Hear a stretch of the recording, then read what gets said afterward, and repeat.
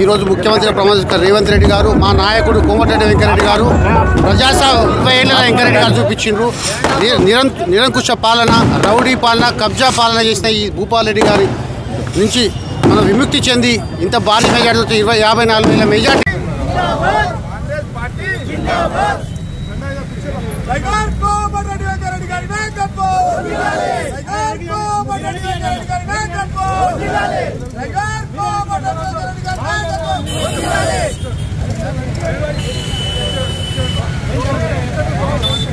బంగారు తెలంగాణ అని అనుకుంటా ఇరవై ఏళ్ళ దరిద్రం అన్నాడు.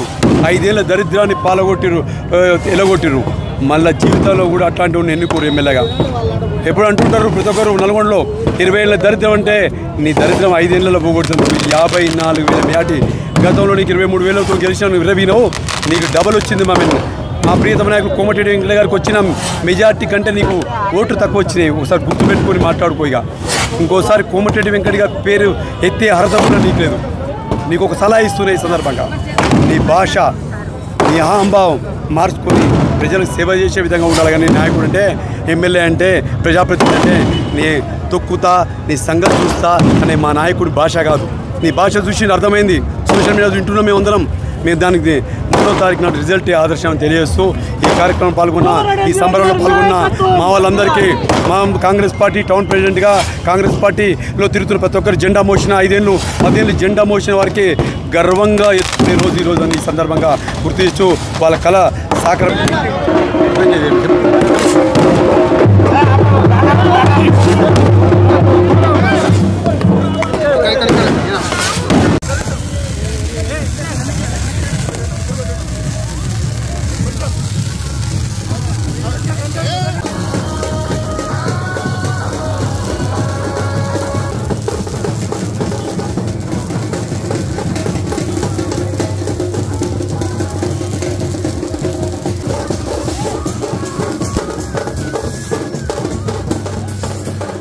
ఈరోజు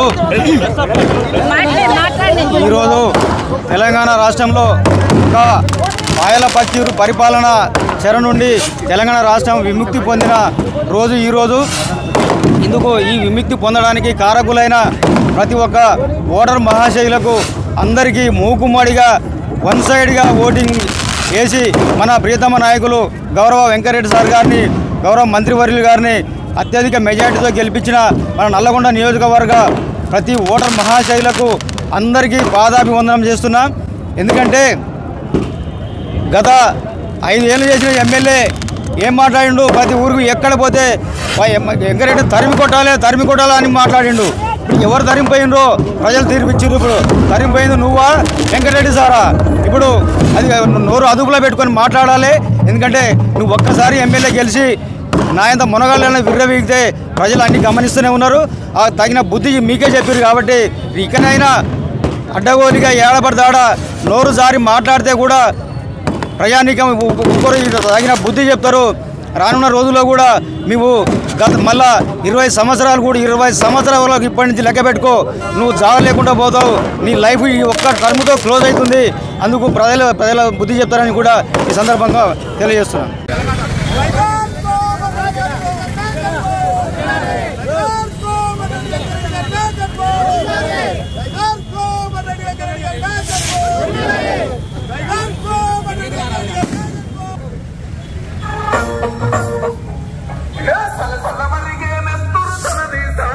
നാടുകാട്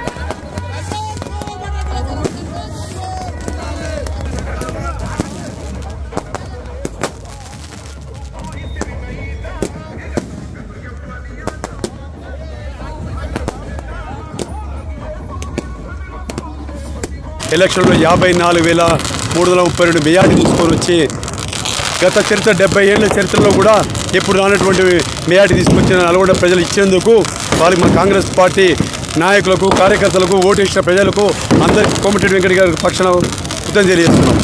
మేమందరం కోరుకుంటున్నాం మొన్నటిదాకా జరిగిన పరిపాలన వేరు రేపు రాబోయే పరిపాలన వేరు జరిగే పరిపాలన వేరు. కాంగ్రెస్ పార్టీ పక్షాన ప్రతి ఒక్కరూ గుండె మీద చేసుకొని నిబ్బరంగా ఉండే రోజు కాంగ్రెస్ పరిపాలన అంటే.